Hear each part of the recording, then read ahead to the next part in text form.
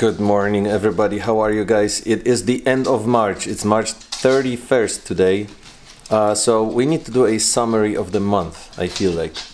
And uh, this is going to be another talking vlog shot entirely within our house because the day outside is the most miserable you can imagine. It's dark, it's rainy, it's cold, and it's generally very unpleasant. So uh, we're definitely not going anywhere. Uh, Blonnie is not ready to be on the vlog yet, although you can hear her. Say hi. Hi. Blonnie, why are you not ready to be on the vlog? Can you please talk to people and give some explanation while they watch my face and the rain outside? Because I just feel like not being on the vlog. Is that elaborative enough? Because you just had the surgery I just had surgery. and you're nowhere near being fully recovered. No. Although your mood isn't bad, right? No, I'm not bad mood at all. You're in a good mood. Good thing we went to Colorado. So your mood is good, but physically you're just not there yet. I cannot dance yet. Okay. Well, how like do you want to describe your experience with this surgery and how is it different than the first one, which seemed a lot more serious? Mm, they were similar and different at the same time. Similar in that I know they kind of push you out of the hospital early for this, which I am happy to be here. But I do feel like that one episode or whatever was because I was walking too fast and too early. Your episode being, you don't mind sharing that on the vlog? I guess not.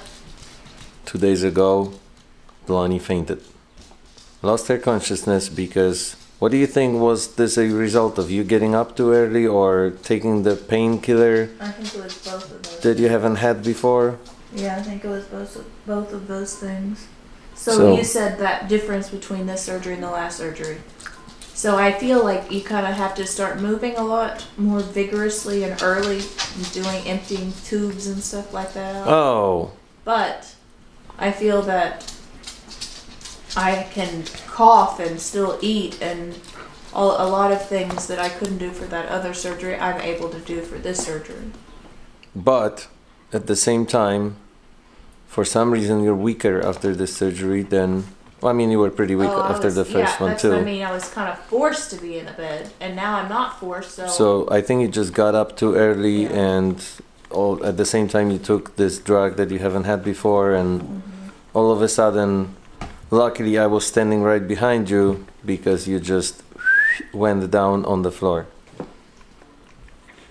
And then you woke up after like 30 seconds, and you were fine. Slowly, got up to normal, but it was scary. thirty seconds. Well, yeah, something around that. Wow.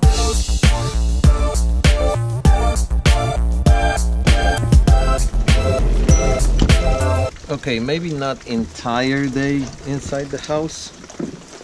Um, I have to do my daily groceries run.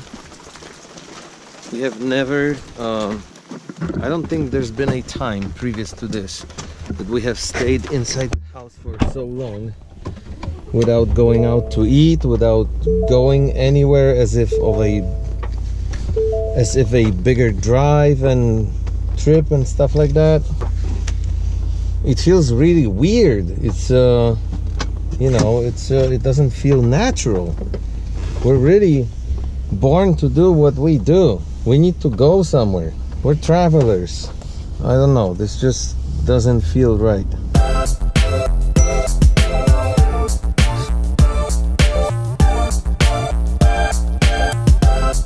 When I was a kid, I used to live in the apartment with my parents, and that's what life was, and nobody questioned it. But after you taste a little bit of the world and see what else is out there, and start exploring places that you never went to before, and see how beautiful and different they can be, after you catch that bug, it's really difficult to let it go.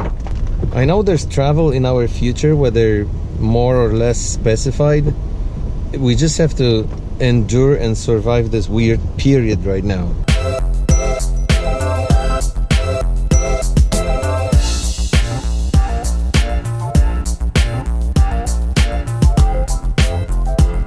Another positive thing is days like this always inspire thinking in me. I always think about uh, another project, other projects, um, new projects, old projects that could be revisited.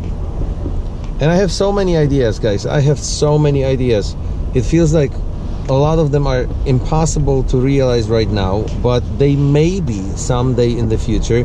And I may also start taking very small steps right now in order to get a little closer to where I'm going with those. It's actually not raining half as bad right now as it was before. Most of the day this was a real heavy downpour, now it's kind of just drizzling. It's uh, late afternoon so I'm losing light, it's getting dark and now I have to get back home. I did get something to boost the mood. I will show it to you guys in a moment.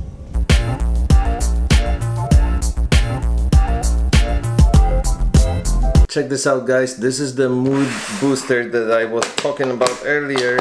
I'm gonna try to open it without causing any damage. There you go. Isn't that awesome? It's tiramisu.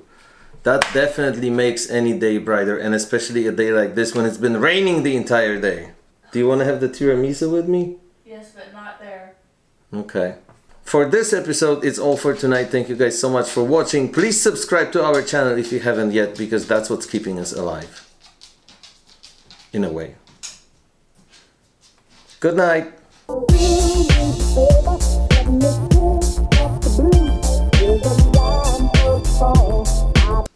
I have all this very specific lighting set up here and cool background. So I think this is gonna work. Blonnie is laughing at me because uh, I'm turning our house into a studio setup, but what the hell? You gotta believe.